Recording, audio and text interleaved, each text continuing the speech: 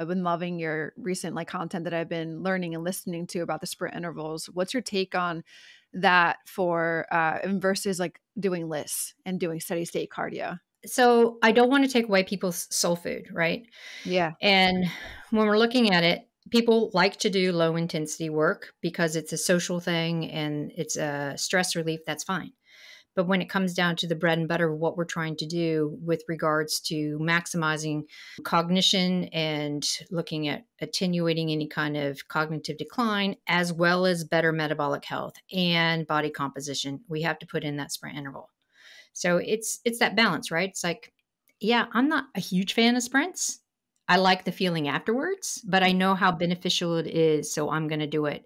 But then on the weekend, I'm out on my bike for hours with friends because it's fun and it's social. So mm-hmm. that's what I mean. It's like pick your quality during the week if you can and then you want to find that soul food as the way to feed your soul but not to be the be all end all of what you're doing Amen. I love that. And I love it so much more too because you have that endurance background. So you can speak to like blending in the best of both worlds.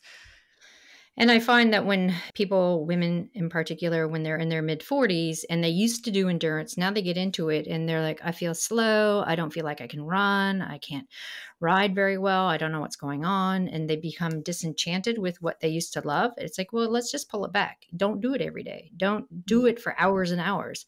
Let's pull it back. Let's look at the quality. Let's look at where you want to go. And you can find your soul food again. Yeah.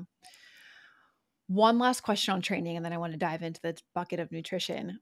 Is there a best time like to train based on the hormone fluctuations that we that say we're not in perimenopause or menopause like the the fluctuations that maybe like a normal not normal that sounds terrible you know what i mean we're still getting our reproductively yes. Still in reproductive years. Yes. yeah yeah. Yeah yeah. Is there a best time to train like during that during those cycles that we go through on a monthly basis yeah, so the science has evolved over the past six years, which I'm happy to see because now we have more and more research on women. Yeah. And part of it is we know from a molecular standpoint what happens when we have low estrogen, progesterone. And this is when we can really go hard, we recover well, we have all these great things going for us, including our immune system. Then after ovulation, we start to have a change. We have to be a little bit more cognizant of what we're doing.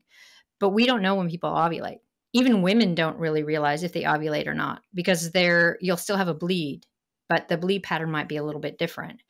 So what we're saying now from a applied sports science point of view is we want you to track and understand how you feel across the cycle because that gives you more insight and also empowers you to know well i really have this training session that i want to do and it's really high intense and i want to nail it. But it kind of falls around the time where i always feel a bit flat so I'm going to move that.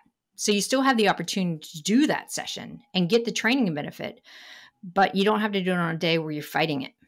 So, you know, you find your own patterns because some women feel really awful mid cycle and then they start to feel better on either end. And then some women like feel really bad the week before their period starts.